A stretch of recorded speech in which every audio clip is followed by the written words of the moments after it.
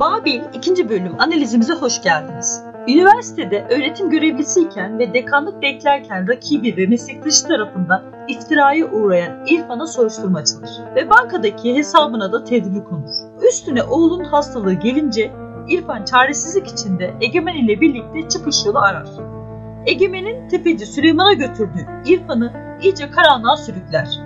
Karısı Eda ile iyice aralara açılan İrfan, Ayşe yani Aslı Enver ile tanışır. 3 sezon cuma günleri İstanbullu gelinle birlikte Star'da izlediğimiz Aslı Enver'i aynı gün yine aynı ekranda görmek çok güzel. Tefeci Süleyman'ın sevgilisi İlay'ın İrfan'ın evlilikten döndüğü eski sevgilisi olması ve bunun Süleyman'ın öğrendiğinde tepkisi büyük olacaktır. Dizinin içinde eskiyi hatırlayan İrfan geldiği noktada büyük bir yatırım şirketinin başında görünüyor.